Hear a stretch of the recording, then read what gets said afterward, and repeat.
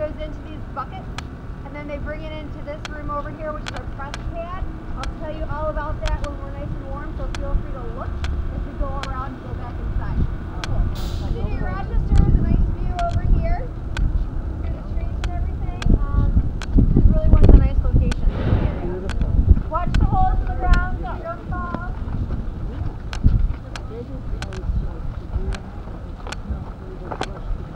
Take out the stem.